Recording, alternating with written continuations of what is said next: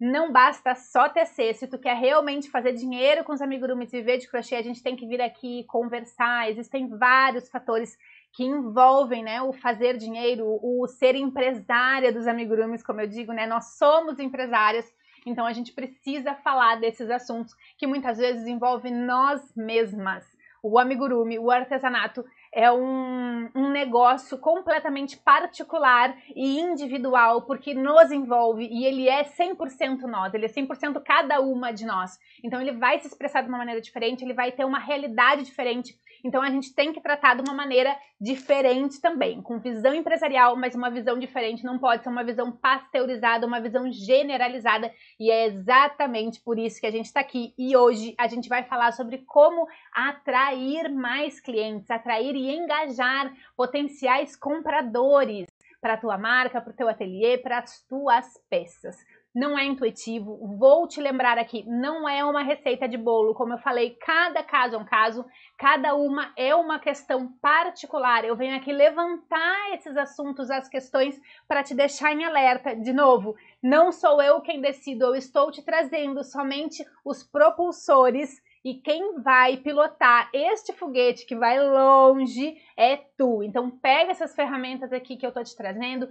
anota, avalia de acordo com as tuas condições, avalia de acordo com a tua realidade, com os teus propósitos com os amigurumis e com esse ateliê, e então tu adapta e bota em uso. Não adianta anotar e guardar, tem que, tem que anotar e fazer. Da mesma maneira que não adianta ver um vídeo do moranguinho e achar lindo e não botar em prática o moranguinho em si. O teu conhecimento não vai crescer, a tua peça não vai ser feita e tu não vai vender. Então faça, tá? Anote e faça. Não é receita de bolo, não é fácil, gurias, é um processo, um processo de crescimento. Eu vejo muita gente começando a fazer amigurumi, postando cinco fotos no Instagram e querendo vender e se decepcionando porque não está vendendo. A gente já conversou aqui que a felicidade é uma questão da expectativa setada, né? Da expectativa alcançada ou não. Então a gente precisa setar, precisa é, marcar essa expectativa correta para que então a gente continue com gás, continue com determinação e possa alcançar os objetivos certos.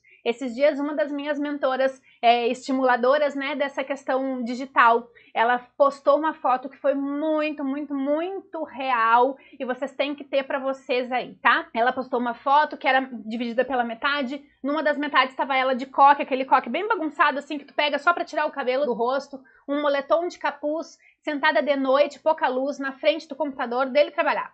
Na outra foto estava ela no palco, num evento super grande, cheio de gente, toda luz, toda maquiada, toda produzida. Na foto do computador tinha escrito 90% e na foto do palco estava escrito 10%.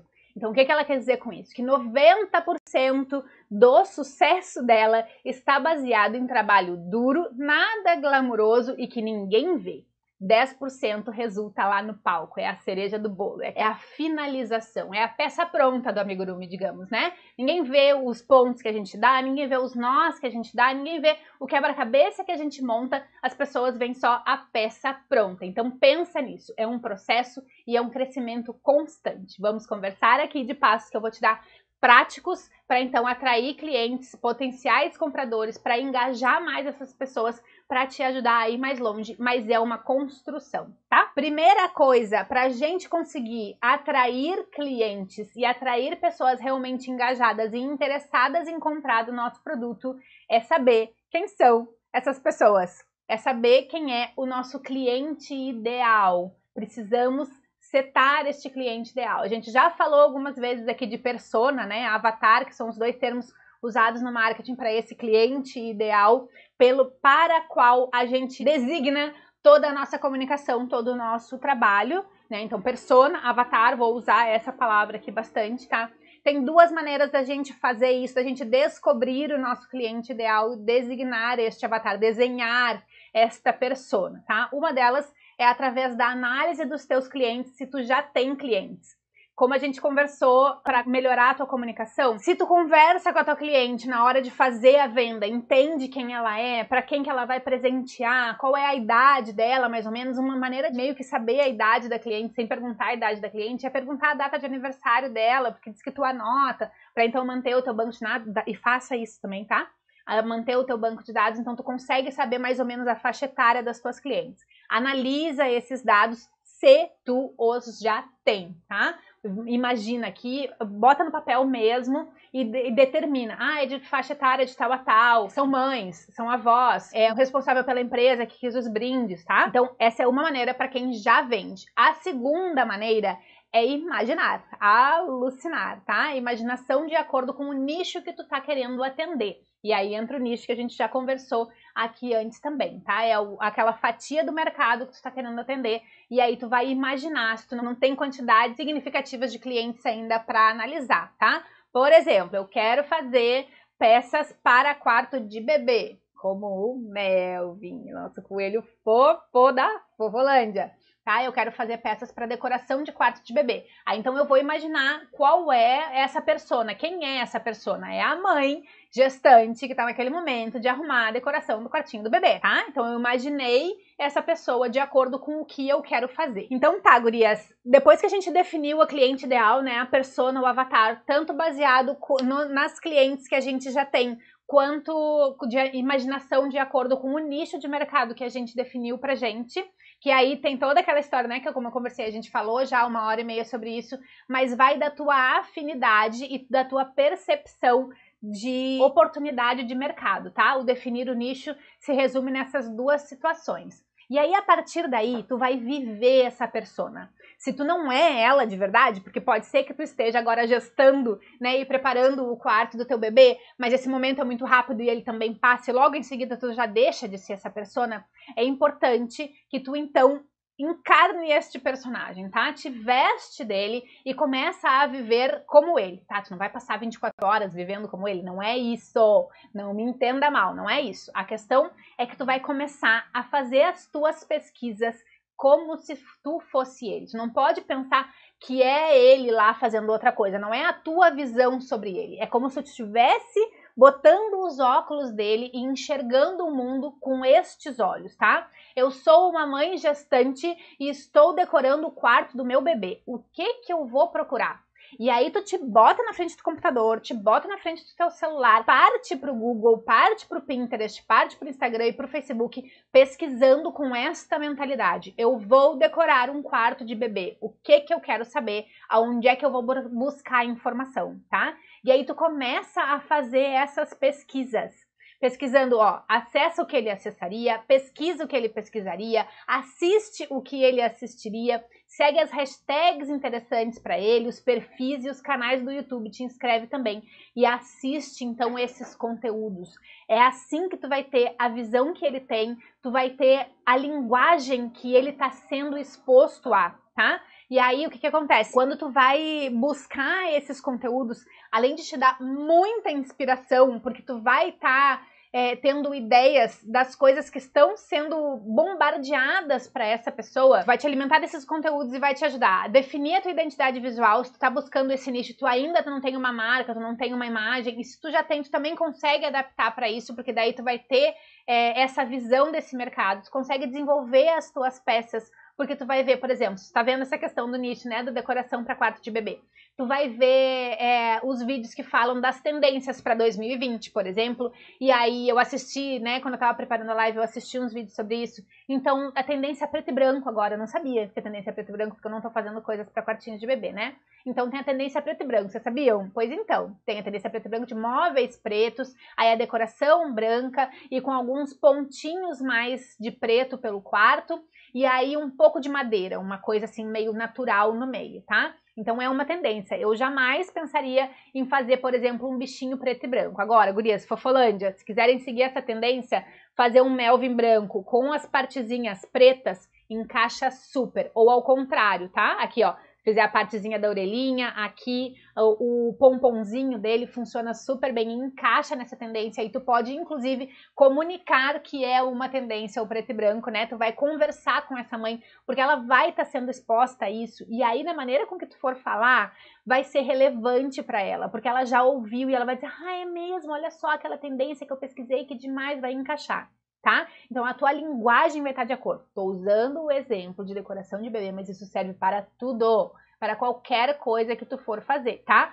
seja brinquedos sensoriais, seja presentes para meninas, seja decoração de festa, qualquer coisa, qualquer nicho que tu fazer, se tu vestir essa essa persona, se tu te vestir desse avatar e pesquisar as coisas com os olhos deles, pensando resolver os problemas que eles teriam, tu vai ter essa linguagem, tu vai ter essa informação e tu vai, isso vai refletir no teu trabalho. Nada mais vai ser aleatório naquilo que tu faz e tu vai te conectar com essa persona, ela vai se identificar quando entrar no teu perfil e quando ela vê a tua comunicação, tá? Fabiana, você sugere dar um mimo para todos os clientes ou tem algum critério, tipo quantidade de peça e etc.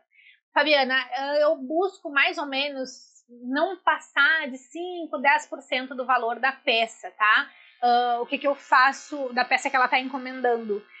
Faço pecinhas pequenininhas que usam restinhos de fio e que me tomam pouco tempo. São esses critérios que eu tenho. Pouco baixo, baixo valor, perdão, baixo valor, é, restinhos de peça e que me tomem pouco tempo, porque afinal de contas é um mimo, né?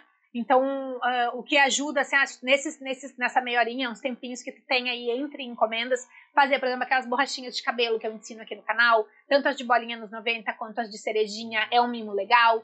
É fazer aqueles tic-tacs também, botando pomponzinho, botando um coraçãozinho, daqueles que tem aqui, o, aqueles coraçãozinho pleno, planozinho, né? Essa, essa aqui, deixa eu tirar, parei aqui da Vera, tá só com um alfinetinho. Esse lacinho de cabelo aqui, esse lacinho 3D, que tem um passo a passo aqui no canal também, se tu botar um elástico de cabelo aqui, botar um elásticozinho aqui enquanto tu for amarrar, virou uma borrachinha de cabelo, um elástico de cabelo muito, muito legal e super rápido de fazer, também te usa pouco material é, e é um super mimo, tá? Até uma bolinha pode ser um mimo no caso de um bebê menino, é, que é uma bolinha de amigurumi, é super, super legal para vender. Então é isso, peças rápidas que usam pouco material e que não custam muito, né? Peças baratas, que é mimo. Tu, venderia por bem mais, mas o preço de custo delas é pequeno. Então a cliente enxerga um bom valor, mas para ti não custou muito. A Michelle, eu já tinha tido essa ideia de tecer esses mimos pequenos que você ensina para obter mais fotos. Sim, Michelle, Michelle, né? Estamos falando com Michelle Cáceres, meninas, ela é realmente incrível. Mas sim, Michelle, as peças pequenininhas geram mais fotos, encorpam o teu portfólio, enchem a tua vitrine aí e mostra realmente que tu não tá para brincadeira, né? A Josilene tem uma encomenda para chá de bebê de 30 chaveirinhos da nuvenzinha que você ensina no YouTube. Estou confeccionando porta de maternidade com o tema chuva de amor. Estou usando a estrela maravilhosa, Josilene, incrível. Olha, eu fico assim, ai, realizada, de verdade. Você chegou a ficar Ui, desculpa. Eu chego a ficar emocionada com isso, porque é, é, não foi fácil chegar até aqui, não foi fácil é, é essa virada. Eu passei por muitas dificuldades né, para desvendar os amigurumis, para aprender os amigurumis, para ter oportunidade com eles. E quando Deus me deu essa direção de, de mudar, de, de abrir mão de muitas encomendas, né, daquela minha agenda cheia, para então virar o meu negócio e vir aqui ajudar mulheres que estavam na mesma situação que eu lá no começo e vir aqui e, e entregar valor para vocês, e entregar uma direção, e entregar uma oportunidade de vida, isso é uma oportunidade de vida e uma oportunidade de vida maravilhosa, viver cercada de fofuras. E aí tu, tu me vem com um depoimento desse, Joselene, assim, Ai, eu não tenho, não, eu fico, fico sem palavras. Eu, eu, eu que falo, né? Então, muito, muito, muito obrigada a cada uma de vocês pela, pelas experiências, por me permitir estar entrando aí na casa de vocês, sexta-feira, às quase nove horas da noite, para vir aqui conversar contigo, para vir aqui é, oferecer um pouco do que, do que eu aprendi, né? Eu quero passar tudo que eu puder eu quero passar para ti, para te evitar que passe os perrengues que eu passei, para que tu consiga realmente, de verdade, verdadeiramente viver de amigurumi, viver cercada de fofuras, fazer dinheiro com essas coisinhas fofas, né? Um trabalho tão gostoso, tão recompensador e que leva amor. Olha só, a Josilene tá fazendo uma encomenda para chá de bebê. É um momento muito fofo, um momento muito especial da vida das pessoas né? E ela tá participando desse momento, e eu também, por tabela, com as minhas nuvenzinhas, né? Que são tuas, né, Josi? Mas é com a minha receita. Então, olha, sem palavras, realmente, de verdade. Tomaria um balde de água agora pra me acalmar, mas eu já acabei com a minha água. Obrigada, Josi. Gurias, agora vamos entrar no como, mais especificamente, né? De, de entrar nesse universo aqui. A gente já conversou um pouco sobre isso, mas é bom pontuar. Pesquisa. A pesquisa é a chave. Você sabe que eu sou a, a, rainha da pesquisa, né? Eu gosto de pesquisar tudo, tudo, tudo que eu vou fazer, tudo que eu vou comprar, qualquer coisa, eu pesquiso muito antes, tá? Então, adquiram esse hábito também, porque vai ajudar bastante vocês. Pesquisa assim, pesquisa no Google, por exemplo, tendência decoração de quarto infantil 2020, né? Foi o que eu fiz, que eu descobri essas tendências aí. Tendência de festa 2020. É, tendência de quarto 2020. Pesquisem pelas tendências e também pesquisem da mesma maneira como a mãe pensaria, da mesma maneira como a avó pensaria, da mesma, da mesma maneira que a fotógrafa de bebês, como a Karina falou aqui, pensaria. Botem essas pesquisas, né? Tentem se colocar no lugar delas, pensem nas dores delas e joguem no Google e vejam o que vem. Aí então tu pesquisar presente para a menina de 6 anos, né? E aí veja sugestões, isso também pode te basear no que tu vai oferecer para o teu avatar, tá? E aí tu pesquisa então artigos, que são textos, pesquisa imagens, pesquisa vídeos e pesquisa no Pinterest também. E começa a organizar essas tuas pesquisas. Cria pastas para referências futuras. Tanto o Instagram quanto o Pinterest, tu consegue organizar pastinhas. Quando tu clica naquela bandeirinha lá do Instagram, tu pode tanto salvar numa aba geral, como se tu segurar um pouquinho naquela bandeirinha, ele vai te abrir uma possibilidade de abrir pastinhas independentes, que tu consegue dar nome para elas, tá? E aí, por exemplo, segurei lá, abri e botei preto e branco. E aí, então, tu tem aquela pasta, tu vai usar as tuas referências de conteúdo para tendência preto e branco. Segura lá de novo, vai abrir uma outra pastinha, tu bota então tropical. E aí então tu bota tuas referências todas ali para depois tu então pesquisar e ter aquele conteúdo para tu poder depois te conversar, te comunicar com o teu cliente e poder definir as tuas peças através disso, tá? O Pinterest também tem essa possibilidade de abrir boards, eu acho que é, eu uso o Pinterest em inglês, eu acho que são boards, ele fala então, essas, essas pastas independentes também, né? Por tema, tu consegue selecionar, então isso te organiza. Se tu é old school, né? Aquela coisa assim, anos 80, tu pode ter um caderno de anotações também. O Google Keep, que eu já conversei com vocês, que ajuda demais. Tem um outro aplicativo que chama Trello. Eu uso muito o Trello. Ele é um pouquinho mais complicado, um pouquinho mais avançado, mas ele ajuda a organizar também dessa maneira, né? Separar, setorizar. Ou então vai no caderno mesmo, caderninho de anotações separa lá as tuas tendências, separa as tuas comunicações e é uma maneira super legal também de tu ter as tuas ideias organizadas, tá? Também tem, uma coisa, vocês já ouviram falar de mood board? Mood board é como se fosse um painel que se cria, normalmente quem usa muito isso são decoradores e arquitetos, né, que eles vão buscando elementos e então criam aquele painel que vai definir o que, como é que vai ser a obra. Tu pode criar esse mood board imprimindo fotos né, que, que, representem essa tendência que tu tá, esse momento da tua cliente, aí tu juntar amostras, amostras de fios, elementos, e vai montando essa paleta. Fez sentido para ti? Vai fazer sentido para as pessoas que estão buscando isso também. Parece muito complicado, mas não é. Porque quando começa a fazer sentido para ti, começa a fazer sentido para as pessoas, elas se sentem bem no teu perfil, elas se sentem bem conversando contigo e tu te torna referência, porque tu tem unidade, tu tem conteúdo, tu tem consistência, tu tá falando a língua dela. E é isso que vai atrair, é isso que vai engajar, é isso que vai fazer as tuas peças venderem. Gurias, não pode ser aleatório, não pode. Aleatório, tu vai ter cliente aleatório, aleatório, tu vai estar tá à mercê. Não dá pra gente deixar as coisas à mercê, não dá pra gente romantizar o crochê, o remake e quis repetir de novo, tá? Não dá para deixar romantizando o crochê, é uma coisa que é muito de antigamente, né? As coisas não vinham fluídas assim. Por exemplo, lá eu vou te contar, lá em Florianópolis, morei muitos anos lá, tem uma rua na frente da Lagoa da Conceição. Você já deve ter ouvido falar da Lagoa da Conceição. A Lagoa da Conceição é uma lagoa que tem em Florianópolis e é um lugar muito conceituado lá na ilha, tá? Um lugar que as pessoas vão para passear realmente tal. É a avenida principal da Lagoa da Conceição, se chama Avenida das Rendeiras. Há muitos anos, tempo atrás, como diria o meu filho, ficavam as rendeiras ali, aquelas rendas de bilro, sabe? Que tem aquelas bolotinhas que vão então rendendo, fazendo a renda era só render ali na frente. Elas ficavam na calçada, rendando e com as peças que já estavam prontas ali, então os turistas iam lá e compravam as rendas delas, tá? Hoje só tem uma rendeira lá em toda a avenida. Isso lá antigamente fluía, as pessoas iam até elas, elas rendiam, faziam a rendinha que elas queriam, que elas gostavam e ficavam esperando as pessoas chegarem. Mas o que, que aconteceu? Morreu as rendeiras. Não morreu de efetivamente morreu, morreram, né? Não, fatalidade terminada, não. Essa questão do fluido acabou, acabou com elas. Não teve como elas se manterem, porque as pessoas começaram a buscar outras coisas ali. Né? As pessoas não estavam mais indo para buscar as rendeiras, elas estavam indo para buscar a festinha lá, né? O, o, lazer e não mais elas. E aí elas fecharam as portas, acabou, ficou uma rendeira lá. Né? E tem muitas outras coisas lá, vende mais um monte de coisa. A renda é só, só tem ela lá chamando, mas tem uma, muito poucas rendas. E se a gente começar a ir no fluxo, a ir no orgânico, ao deixar acontecer, vai acontecer a mesma coisa com o nosso ateliê. Não dá, tem que ser intencional, gurias. Tem que ser intencional. Dá trabalho? Dá.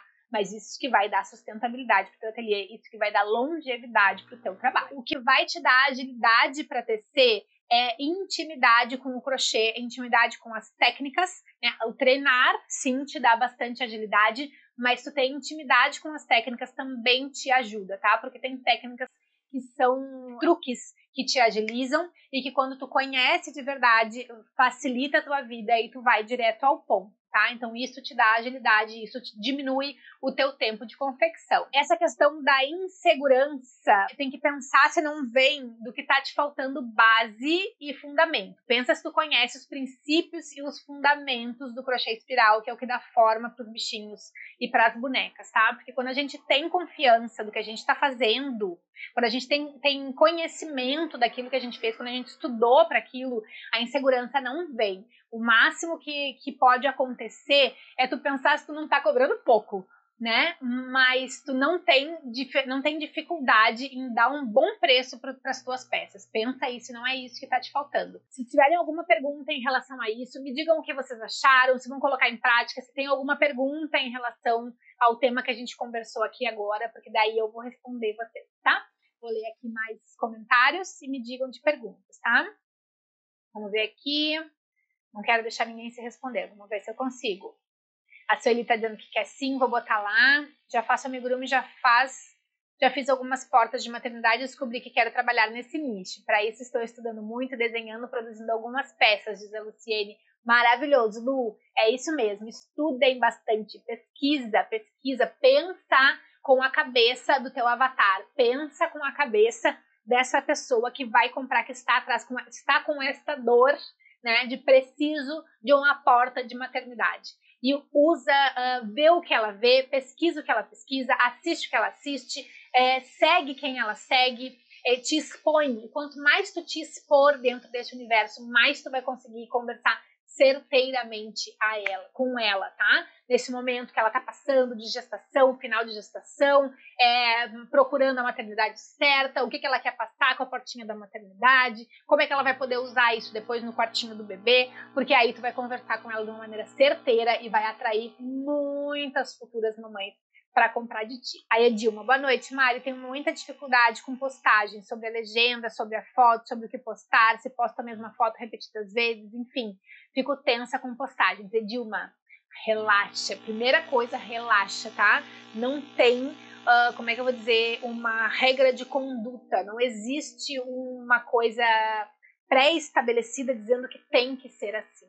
Uma, uma única coisa que eu, eu, eu, Mariana, estou dizendo que tem que ser é que tem que ser tranquilo, tem que ser uma coisa fluida para ti, tem que ser uma coisa que seja sustentável para ti, tem que ser uma coisa que seja gostosa de fazer. Não pode ser um peso, tá? Porque senão não vai ser sustentável. Se for pesado para ti, tu não vai conseguir manter aquilo por muito tempo e tu tem que manter aquilo por muito tempo. Tem que ser consistente com as tuas postagens, com a tua comunicação nas redes sociais, né? Porque é aí que tu tem a, a, o engajamento das pessoas, é aí que tu consegue atrair as pessoas. Então não te prende a, a como é que dizer, alguém te dizer o que que tu tem que fazer, tá? Pensa em conversar com essa cliente, pensa em passar aquilo que ela quer ver, tá? A questão das legendas, assiste a live das histórias, já falei várias vezes aqui, mas é porque ela tá realmente muito rica, né? E já ajudou muitas artesãs. Então, a live de histórias, tem aqui no, no canal, pesquisa lá, tá? A live de histórias, que vai te dizer, mas vai te dizer mais ou menos um rumo do que falar nas legendas. Segue também a Michelle Castere, é Mikarumi, underline amigurumi. E a Michelle tem feito isso, tem seguido as dicas e superado, inclusive, as dicas e adequado para o ateliê dela e conversa super bem nas legendas, tá? Te inspira com ela lá. Questão das fotos, Re replicar as fotos não é problema, desde que não seja uma depois da outra, tá? Isso que eu já falei aqui agora. Explora o bichinho, faz a tua peça, a tua boneca, faz como se fosse um book dele. A peça ficou pronta, tira foto de tudo quanto é jeito, de tudo quanto é lugar, de detalhe, tudo mais. Faz umas 50 fotos de cada coisa, exagerando mesmo, tá? Vai usar nem 10% disso. Das 50 fotos, tu vai usar 5. Vai tirar 5 fotos boas ali. E aí, então, tu alterna. Porque se tu tiver 10 bichinhos, se tu tiver 5 fotos de cada bichinho, quantos posts tu tem? 50 posts tendo 5 bichinhos. Se tu escolher as fotos certas e alternadas, assim. E aí, então, tu vai jogando, montando quebra-cabeça. Ah, posta um coelho, posta um ursinho, posta uma boneca e posta uh, um elefante. E aí depois tu posta de novo o ursinho, o coelho, a boneca, faz um quebra-cabeça ali, mistura, né? E posta. Então tu tem 50 posts de só cinco bichinhos, os cálculos errados. Vocês entenderam a multiplicação das fotos aqui, tá? Então não te prende, solta. É uma coisa tranquila, ninguém vai te julgar, e se te julgar, elas não pagam tuas contas, não pagam teus boletos. Faz aquilo que faz sentido para ti, o que tu gostaria de ver nos olhos das tuas clientes, tá? A Fábio tá perguntando, Mari, você manda mimos para todos os clientes? Sim, para todos os clientes, sabe? Todos, todos, todos. Nenhuma encomenda vai sem mimo. O mimo, ele mostra um carinho e gera agradecimento, gera post, né? E o post gera esse engajamento, um post de agradecimento atrai. Tu consegue replicar nos teus stories, mostrando a satisfação dos teus clientes. As clientes te marcam, tu pode mandar um bilhetinho dizendo para ela, né? Se ela quiser postar a foto e te marcar que tu vai gostar muito. E isso gera depoimento e o depoimento da segurança para quem ainda não te conhece e tá em dúvida se vai comprar de ti também. Manda mimo que o mimo, ó, é massa.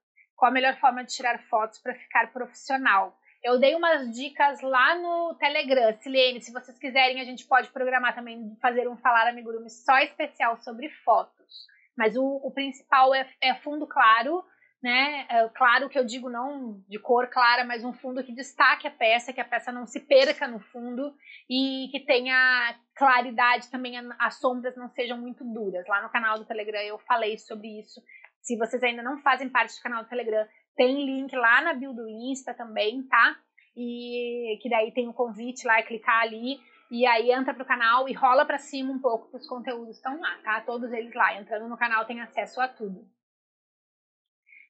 Muito obrigada pelos ensinamentos. Beijo grande, Zé Silvia. Beijo para ti também, Silvia. Michelle tá dizendo graças a Deus que sarou. Amém, Michelle. Completamente graças a ele, porque os médicos não entenderam. Foi nada. Adriana, ansiosa pela liberação do plano anual. Estou louca na Vera e na Bia. Libera logo, Mari, por favor. Sim, Gurias, eu que tô louca de tanta coisa para fazer aqui, tá? Eu sei, eu sei, eu sei. Vai abrir, vai abrir, mas vai demorar um pouquinho. Obrigada pela live muito rica de aprendizagem, diz a Sueli. De nada, Sueli. Obrigada pela companhia. Ó, a Michelle botou o arroba dela aqui, gurias, sigam. A Luciene, obrigada, Mari, sempre, amor. Que Deus te ilumine sempre. Até a próxima live. Amém, Luciene. Que Deus te ilumine também. Continue abençoando o teu trabalho. Até a próxima. A Neuza fez arroz, amei fazer. A minha fez um book da Rose. Isso! Façam um book das bonecas, façam um book dos bichinhos e tenham essas fotos guardadas aí. E aí, volta e meia, não tem o que postar, vai lá e pega a foto e posta, porque mesmo que tu já tenha vendido a peça, tu pode replicar ela e fazer de novo, né? Então é o teu portfólio, é uma peça que tu fez, tem que ser explorada assim, usem e abusem, gurias. Maravilhosa, Neuza. A Ana, amo seus ensinamentos, é só seguir que é sucesso. Obrigada de nada, Ana. Isso, guria, sigam, tem que botar em prática. É aquilo que eu tava falando no começo da live. Não adianta anotar, não adianta assistir e deixar guardadinho, porque aí a coisa não acontece. Né? Então tem que botar para fazer, tem que botar para acontecer. Botem a cara tapa, esqueçam julgamentos. Ninguém tem poder de julgar, só Deus pode julgar. E Ele sabe os, os, os princípios do teu coração, Ele sabe a vontade do teu coração e Ele te enxerga com muito amor e Ele te enxerga com capacidade e ele te dá sabedoria, ele te dá esse dom de fazer as coisas acontecerem, te dá força para seguir em frente, porque ele sabe que a tua intenção é gerar amor, é fazer amor, é cuidar da tua família, é poder viver cercada de fofuras e ele reconhece isso. Então esquece o julgamento dos outros e só faz, bota a coisa para acontecer que tu vai longe com certeza. Pilota esse teu foguete, pega os propulsores, acopla aí e pilota e vai longe. Gurias, o céu é o limite. Façam acontecer que dá certo sim. Encerramos agora. Muito, muito, muito, muito obrigada pela tua companhia. Tenha uma semana abençoada. Lembra, Deus te ama, Ele cuida de ti, Ele sabe da vontade do teu coração, Ele conhece o teu coração, porque Ele esquadrinha ele todinho e Ele conhece os teus desejos, tá? E Ele te abençoa. Estás abençoada e tens força e sabedoria que Ele te deu através da fé e através dos teus pedidos que eu sei que tu tem pedido em oração e ele vai fazer o teu sonho acontecer, mas tem que trabalhar. Lembra vigiai e orai. Então vigia e ora e faz acontecer. E eu tenho certeza que tu consegue, porque se eu conseguir, tu também consegue. Obrigada pela tua companhia. Um fim de semana abençoado, revigorante, cheio de ideias e de pesquisas sobre o teu avatar e sobre o teu nicho de mercado. Um beijo grande e até a semana que vem. Eu te espero no projeto 444 quarta-feira, às 4 horas e 44, lá no Insta. Beijo grande!